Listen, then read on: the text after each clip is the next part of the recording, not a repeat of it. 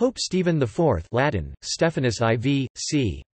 770 the 24th of January 817 was pope from June 816 to his death in 817. Stephen belonged to a noble Roman family. He was consecrated pope on or about the 22nd of June 816. The following October, he crowned Louis the Pious, Holy Roman Emperor at Reims, and persuaded the emperor to release some Roman political prisoners he held in custody. He returned to Rome, by way of Ravenna, sometime in November and died the following January. Biography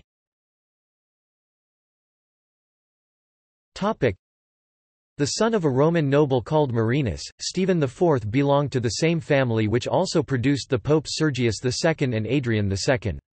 At a young age he was raised at the Lateran Palace during the pontificate of Pope Adrian I, and it was under Stephen's predecessor Pope Leo III that he was first ordained a sub-deacon before he was subsequently made a deacon.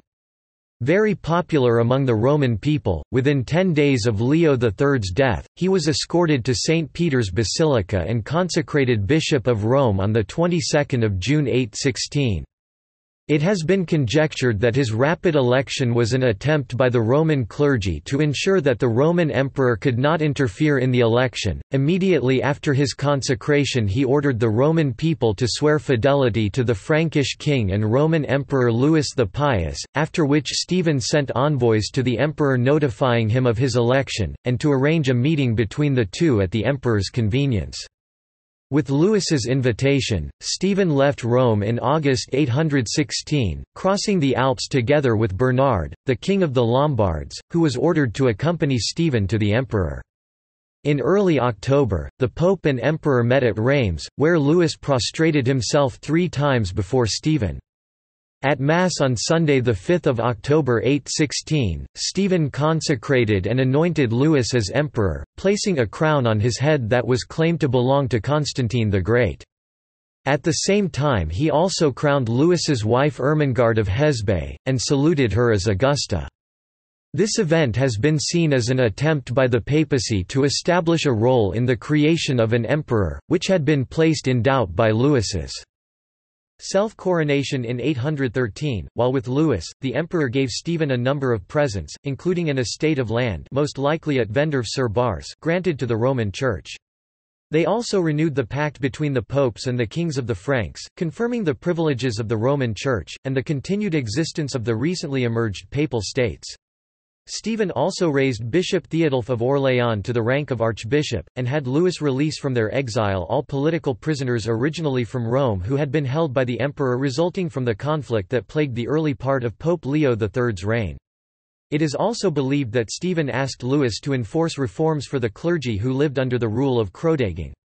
This included ensuring that the men and women who lived there were to stay in separate convents, and that they were to hold the houses under a title of common property. He also regulated how much food and wine they could consume. After visiting Ravenna on his way back from Reims, Stephen returned to Rome before the end of November 816. Here, he apparently discontinued Leo III's policies of favoring clergy over lay aristocracy. After holding the traditional ordination of priests and bishops in December and confirming Farfa Abbey's possessions on condition that every day the monks would recite 100 as well as a yearly payment to the Roman Church of 10 golden solidi, Stephen died on 24 January 817. He was buried at St. Peter's, and was succeeded by Pope Paschal I. At some point, Stephen was canonized as a saint of the Catholic Church. See also. Topic. List of Catholic saints. List of popes. Topic. Notes. Topic. This article incorporates text from a publication now in the public domain, Herbermann, Charles, ed. 1913. Pope Stephen IV v. Catholic Encyclopedia. New York, Robert Appleton. References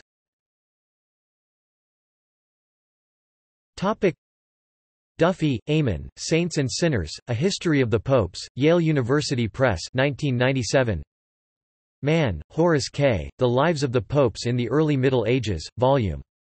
2. The Popes during the Carolingian Empire, 795 to 858, 1906. Chisholm, Hugh, ed. 1911.